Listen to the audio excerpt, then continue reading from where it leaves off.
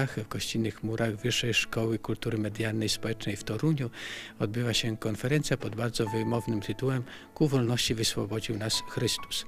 Pierwszy dzień będzie poświęcony e, sprawie e, uzależnienia od alkoholu, drugi dzień będzie poświęcony innym używkom, innym uzależnieniom. Chcemy zapoznać wszystkich uczestników tej konferencji, ale także za pośrednictwem tych wspaniałych toruńskich mediów chcemy przybliżyć również wszystkich nasz, wszystkim naszym widzom i naszym słuchaczom. Wiemy dobrze, że w Polsce istnieje ogromny problem z nadużywaniem alkoholu. Wiemy dobrze, że alkohol y, to y, nie jest witamina, to jest substancja psychoaktywna, to jest narkotyk tak groźny, bo sprzedawany e, legalnie. Dobrze, że ten rok jest takim bardzo wyjątkowym rokiem, rokiem stulecia odzyskania przez Polskę niepodległości. Y, kiedy sięgamy do początków e, odzyskiwania przez Polskę niepodległości, to wiemy doskonale, że działacze i polityczni, działacze społeczni, którzy troszczyli się o odzyskanie przez Polskę niepodległości, również bardzo wielką wagę przykładali do, do troski o trzeźwość narodu.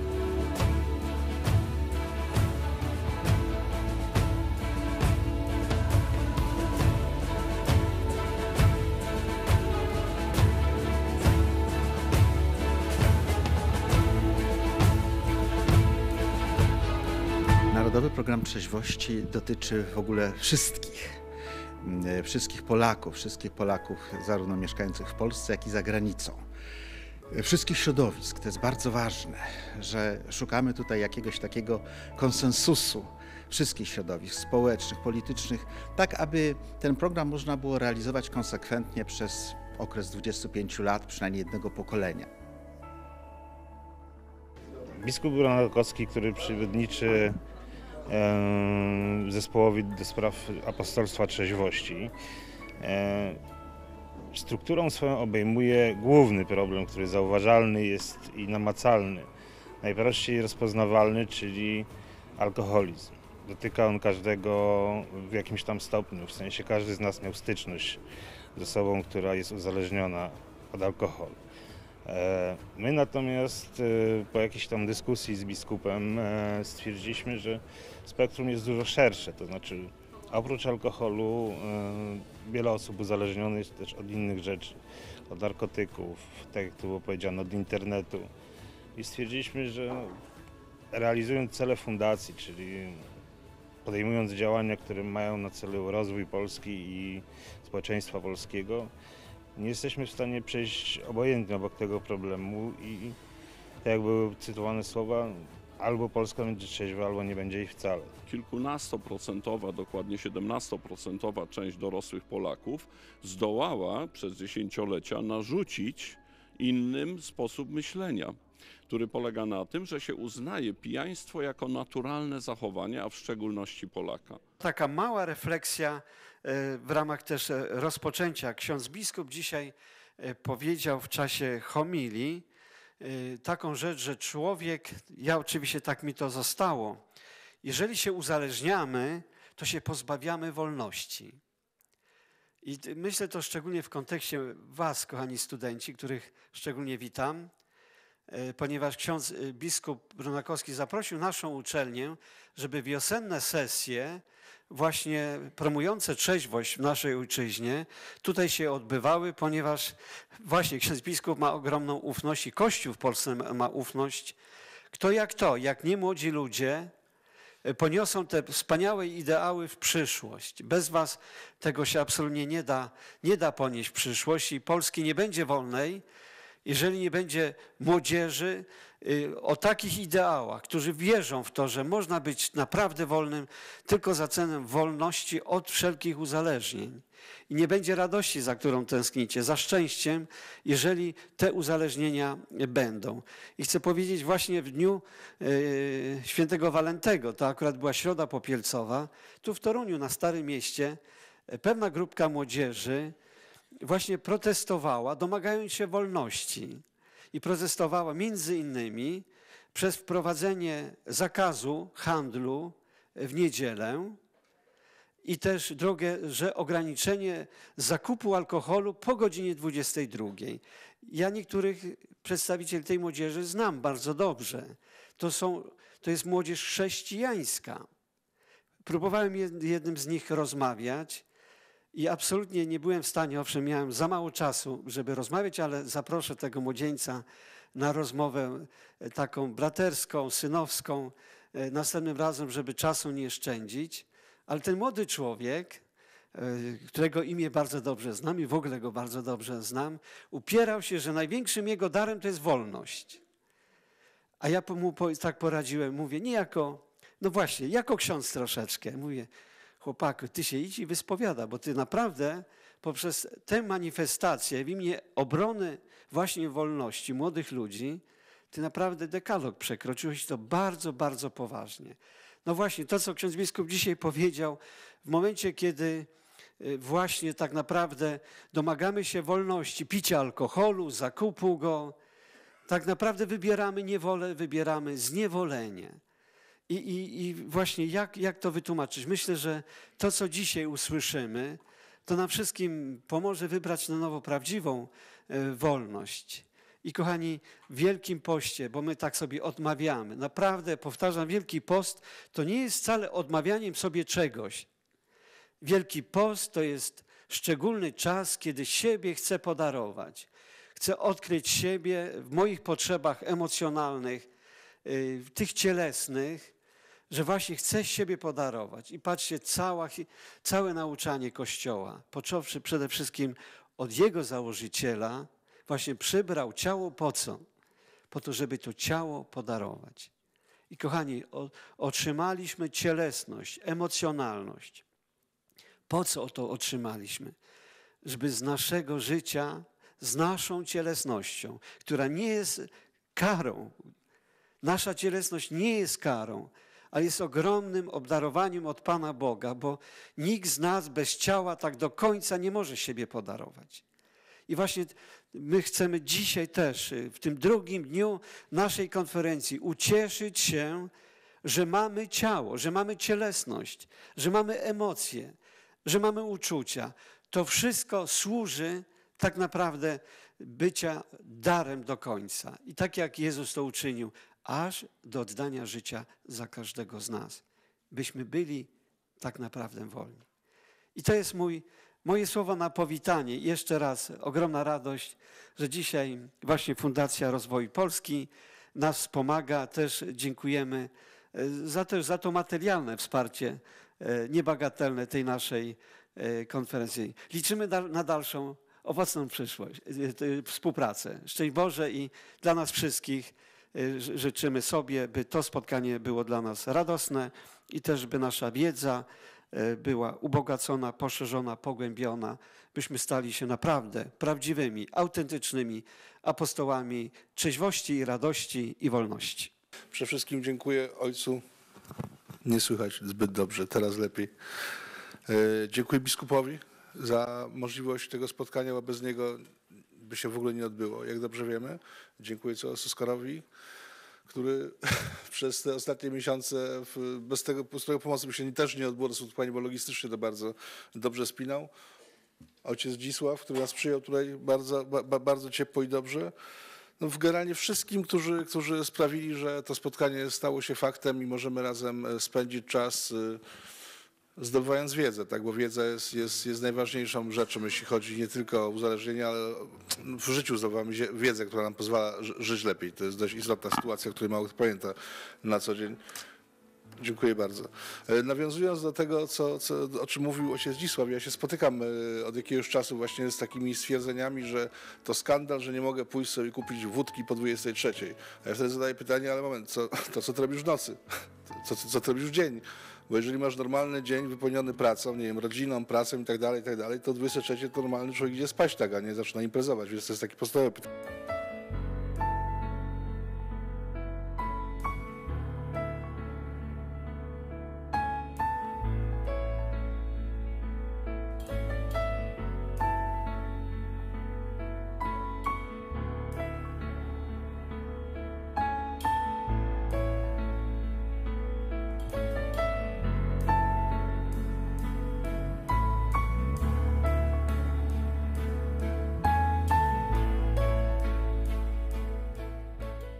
Ja także bardzo dziękuję za, za zaproszenie. Jestem pod y, ogromnym wrażeniem miejsca. Po raz pierwszy mam okazję być, e, być y, tutaj w Toruniu w szkole wyższej.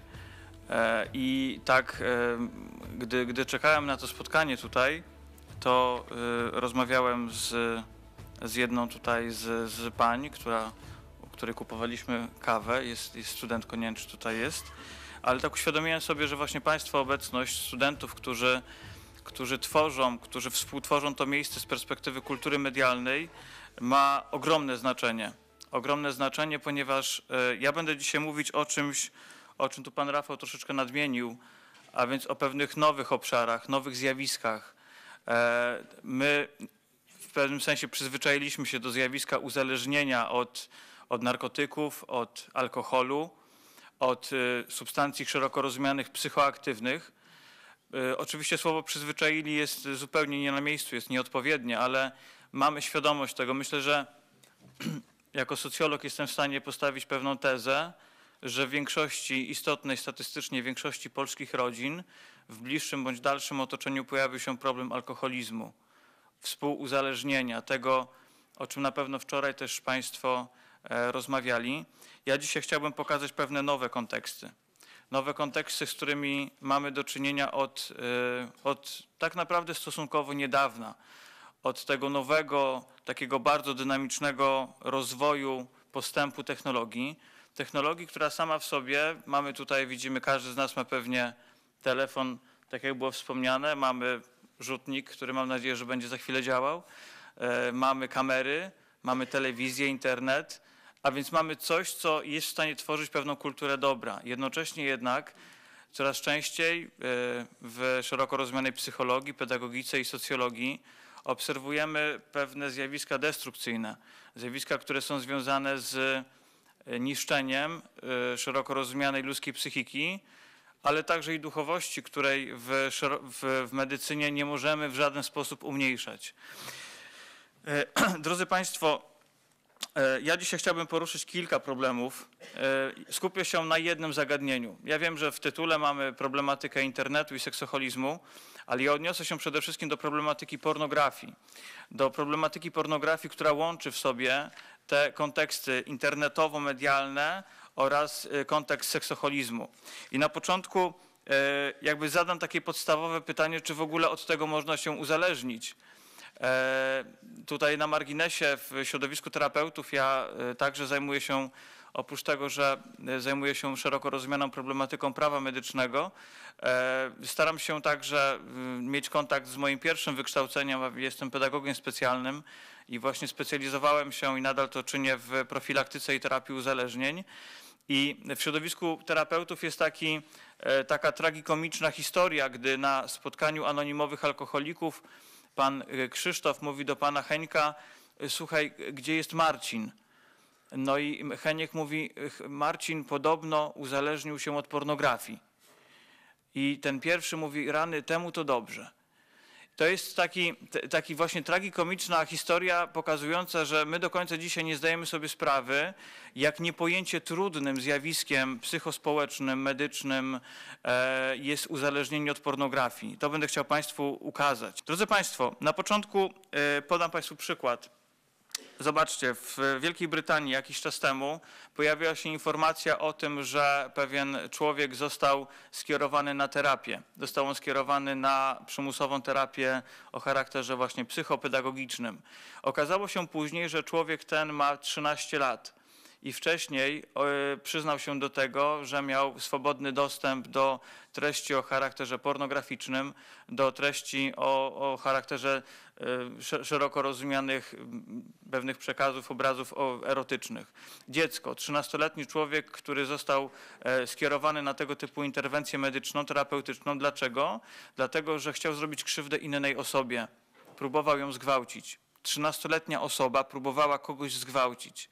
Dla mnie jako dla pedagoga, e, jakby pamiętając jeszcze wykłady sprzed kilkunastu lat z zakresu psychologii klinicznej czy psychopedagogiki, tego typu informacji nie do końca mieści się w głowie. Dlatego, że jakby rozwój moralny, rozwój psychospołeczny, my jeszcze kilkanaście lat temu w ogóle tego typu problematyki w pedagogice i psychologii nie mieliśmy. Oczywiście zdarzały się sytuacje pewnej przemocy, podopieczni domów poprawczych, y, schronisk dla nieletnich byli przyjmowani do tego typu miejsc z racji występowania incydentalnych przestępstw o charakterze seksualnym. Tutaj jednak bardzo mocno media zwracały uwagę na to, że pojawiła się pewna korelacja pomiędzy oglądaniem treści pornograficznych i, i swobodnym dostępem do treści pornograficznych, a istotniejszym występowaniem zjawiska agresji seksualnej u tego młodego człowieka. Drodzy Państwo, ja wiem, że będziemy mówić y, tutaj dzisiaj o tym, czym jest w ogóle uzależnienie, czym jest uzależnienie o charakterze behawioralnym, a więc uzależnienie takie związane z pewnego rodzaju zachowaniami. Na początku celowo podaję Państwu taką bardzo, bardzo dostępną notabene w internecie e, definicję uzależnienia, tak? A więc pewnego rodzaju przymusu fizycznego, psychicznego, e, określone, stałe, taka konieczność przyjmowania określonej substancji, e, określonego środka, nasze ciało, nasza psychika, emocjonalność żąda od nas tego, żąda, byśmy przyjęli daną substancję, ponieważ jeżeli tego nie robimy, to doświadczamy tego, co w medycynie nazywa się objawami odstawiennymi. Tak? Człowiek, który przestaje nagle palić papierosy, który przestaje nagle pić piwo, które pił nawet w małych ilościach, ale codziennie, jego ciało w pewnym momencie zaczyna krzyczeć, daj mi ten środek, daj mi tą substancję. Od pewnego czasu mówimy także o występowaniu uzależnień behawioralnych, behavior, a więc pewnego rodzaju zachowania. A więc jest to pewnego rodzaju przymus, jest to pewnego rodzaju działanie, które odczuwa, pewnego rodzaju nakaz odczuwa nasz organizm, po to byśmy podejmowali pewnego rodzaju aktywność.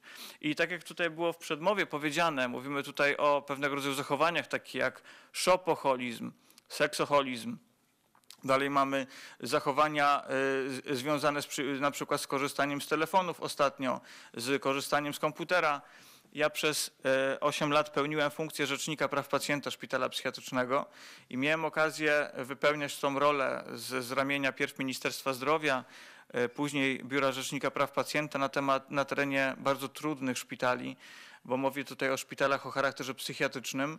Szczególnie wyjątkowymi miejscami w tego typu placówkach są oddziały psychiatrii dziecięco-młodzieżowej. Kiedyś do nas na oddział trafiła osoba, młody chłopak, którego mama e, wyciągnęła siłą spokoju nieprzytomnego już prawie. On jeszcze ostatnimi resztkami sił e, chciał skończyć grę, ale grał dwa dni bez przerwy. Dwa dni grał bez przerwy, drodzy Państwo, i trafił do nas na oddział i tak naprawdę do końca psychiatrzy nie wiedzieli, co z nim zrobić. Ponieważ ten człowiek, on mówił wprost, to jest jego pragnienie, to jest jego marzenie i on czuje się wolny. Tak? Do tego miał 17 lat, posiadał pewną podstawową świadomość prawną i mówił wprost, ja muszę wyrazić też zgodę, nie tylko moi rodzice. Sprawa trafiła do sądu opiekuńczego, ponieważ rodzice szczęśliwie y, opamiętali się, i jakby wyrazili chęć i pragnienie po namowach lekarzy, żeby leczyć tego dzieciaka bez, w szpitalu psychiatrycznym. Natomiast młodzieniec ten nie wyrażał zgody, a w polskie prawo medyczne, ustawa o prawach pacjenta stanowi, że w tym momencie interweniuje sąd opiekuńczy. I szczęśliwie ten chłopak był poddany terapii. Wszyscy są tu e, dorośli, jak, jak, jak widzę. Był taki, taki teledysk pod tytułem Mysłowianie roznegliżowane kobiety, które śpiewały taką, w zasadzie to nie była słowiańska muzyka, w ogóle tylko bardziej muzułmańska, ale no, no, taki, taki pan Donatan to na, na, z panią Kleo i to było powszechnie dostępne, jest powszechnie dostępne w Polsce. Wpiszecie, drodzy Państwo, w YouTubie Mysłowianie, Bach, tak? 13-letni chłopak dojrzewający może zobaczyć roznegliżowane kobiety, które wykonują obleśne ruchy. BBC w jednym z programów, który analizował tego typu treść, de facto ten, ten, ten, ten, ten utwór stwierdziło wprost, to jest treść o charakterze pornograficznym. Chociaż nie występuje tam w ogóle nagie ciało kobiety. Żaden filtr, drodzy Państwo, nie jest, filtr rodzicielski nie jest w stanie wyłapać tej piosenki. Żaden filtr. I dlatego tak ważne jest kształtowanie kultury szacunku dla ludzkiego ciała, kultury szacunku dla kobiety. Przede wszystkim dla kobiety i myślę, że jest to szczególnie rola nas, mężczyzn. E, o tym za chwilkę jeszcze powiem. Regularny trening moralny. Tak naprawdę to jest kształtowanie cały czas postaw moralnych, pokazywanie, że pewnego rodzaju treści, pewnego rodzaju przekazy, to nie chodzi o to, że one są złe i, i spotkać je za to kara. To jest oczywiście dla nas, dla osób wierzących, z perspektywy relacji grzechu, z perspektywy, relacji duchowej bardzo ważne. Ale to jest przede wszystkim pokazanie, że to jest przedmiotowe traktowanie drugiego człowieka. Dla mnie niepojętym fenomenem i paradoksem tragikomicznym jest to, że środowiska feministyczne nie upominają się o delegalizację treści pornograficznych w internecie. To jest dla mnie niepojęty paradoks. Prawo ma wychowywać. Świętej pamięci ksiądz profesor Franciszek Mazurek, ja, ja studiowałem na Kulu i tam ta tradycja księdza profesora Mazurka jest bardzo ważna. On skonstruował pojęcie wychowanie do, do praw człowieka. My musimy kształtować odpowiedzialność. Wolność nie jest pojęciem absolutnym. Wolność prowadzi do destrukcji i pewnego rodzaju treści, jeżeli tylko możemy, powinniśmy je jak najbardziej likwidować. Kończąc, proszę Państwa, ten mój, przepraszam, jeżeli y, przedłużyłem wykład, chciałem zakończyć pewnego rodzaju slajdem. E, chyba telewizja Trwam też kilkakrotnie puszczała taki film pod tytułem Ognioodporni, Fireproof. Być może Państwo oglądaliście. Film pokazujący bardzo trudną relację małżeńską. Ale pytanie, dlaczego ta relacja była tak trudna? Mężczyzna ten był uzależniony od pornografii. W tym filmie jest to bardzo mocno pokazane. Jest tam taka bardzo wyraźna scena, gdy mężczyzna ten zamyka drzwi, wie, że żona jest obok i włącza komputer. Jest tam kapitalny utwór, ja sprawdziłem w, w internecie, on nosi nazwę Temptation, czyli pokusa. Zresztą bardzo taki dynamiczny utwór. W pewnym momencie ojciec tego mężczyzny podaje mu też fragment z Pisma Świętego i to ojciec mu mówi, słuchaj, robisz, po- postępujesz źle, patrzysz na inne kobiety, a jesteś mężem. On w pewnym momencie chce obejrzeć coś w komputerze, w pewnym momencie łapie, jeszcze to był stary taki, jak widzicie Państwo, e, komputer, bierze monitor, bierze panel sterowania i kijem bezbolowym go rozwala. Być może czasem tak trzeba. Tak naprawdę musi się pojawić w pewnym momencie ktoś, kto go zafascynuje. Ksiądz Misiak robi to w ten sposób, że zaprasza rzeczywiście ludzi, którzy fascynują. Nie wiem, młody chłopak, który jest mistrzem, nie wiem, judo, jest mistrzem Polski w judo i przychodzi taki właśnie e, młodzieniec, który myśli, że jest taki ho, ho, ho, prawda? I nagle widzi człowieka, który ma jakieś wartości i który go czymś zaczyna interesować. Ja bym zaczął od tego, bo to oczywiście nie jest remedium na wszystko, ale tak naprawdę pierwszym remedium jest oczywiście to, żebyśmy z uporem maniakiem mówili w to, że rolą ojca jest bycie w domu, bycie, nie tylko oczywiście zarabianie i tak dalej, ale ma być kimś aktywnym w domu, ma być kimś świadomym w domu. Ma być tym, który prowadzi. Tutaj ewidentnie widzimy coś takiego. I tak naprawdę wychowanie, byśmy powiedzieli z perspektywy pedagogicznej, pewnego rodzaju resocjalizacja w tym momencie pojawia się w momencie, w którym pojawia się postać fascynująca dla tego młodzieńca. Musimy znaleźć kogoś, kto go zafascynuje. Ja bym widział taką, taką, taką próbę. O, może tak. Szczęść Boże. E, Studentka drugiego roku dziennikarstwa Paulina Tołcz. Ja chciałam zapytać, panie doktorze, jak wygląda ta droga wychodzenia takiego człowieka właśnie od uzależnienia z pornografii gdzie on może się zwrócić wtedy, jeżeli w ogóle taki problem już e, wystąpi? E, Bardzo dziękuję pani za to pytanie i, i cieszę się, że zadaje studentka dziennikarstwa, tak? Bo, bo myślę, że to zwłaszcza od dziennikarzy e, teraz myślę, że bardzo dużo zależy od tej kultury, no notabene, kultury medialnej właśnie, tak? Bo dzisiaj mamy kulturę s- an, antymedialną, bym powiedział raczej, Ant, albo al- antykulturę medialną. Odpowiadając bezpośrednio już na pytanie, droga jest bardzo długa. Dlatego, że tak naprawdę proces terapii polega przede wszystkim na tym, że na początku ta osoba musi odciąć się, tak jak, jak tutaj pan, pan Rafał mówi, że odciął się od telewizji, to ta osoba musi odciąć się od telefonu, od smartfonu. Ta osoba musi odciąć się od internetu, od tego typu, od miejsc, w których kojarzył na przykład występowanie kobiet, które go podniecały. On musi się od tego de facto odciąć. Tak naprawdę terapia polega na tym, co ja nazwałem treningiem moralnym. I ja to bardzo mocno podkreślam. Światowa Organizacja mówi o tym, że zdrowie to jest dobrostan fizyczny, psychiczny, społeczny i duchowy. My bardzo często dyskutując o zdrowiu zapominamy o tym kontekście duchowym, emocjonalno-duchowym, a tutaj w uzależnieniu od pornografii ten kontekst jest bardzo wyraźny. Wychodzenie z uzależnienia trwa bardzo długo. Proszę mi wierzyć, trwa od tak naprawdę taki, taki podstawowo od pół roku terapeuci, którzy specjalizują się w tym do dwóch, dwóch i pół lat. tak naprawdę, gdzie mówimy o tym, że dana osoba ma pewnego rodzaju to, co w perspektywie klinicznej mówimy, pewien krytycyzm podejścia do siebie. Czyli może powiedzieć wprost, ja jestem uzależniony od pornografii. Bo on na początku, pamiętajmy o tym, że będzie to wypierał. Gdzie mogą szukać? Mało jest na razie tego typu miejsc. W Łodzi, w, nie wiem, w jednej z parafii wprowadzono tego typu miejsce i też po to, żeby jakby nie stygmatyzować, żeby jakby dać więcej odwagi może osobom, które są uzależnione, nazwano to, ja nie pamiętam już teraz jak tam, tam nazwano, nazwano tą grupę terapeutyczną, pojawiają się tego typu grupy terapeutyczne, e, istnieją też możliwości wsparcia takiego bym powiedział online, gdzie terapeuci po prostu zwracają uwagę na to, co pierw zrobić, żeby wyjść z tego problemu. Ale to też jest problem, bo no to jest online jednak, tak? A ta osoba ma z tym problem. Coraz więcej jest tego typu miejsc właśnie dla tak zwanych, takie miejsca, to się nazywa z tego pamiętam, AS, anonimowi seksoholicy.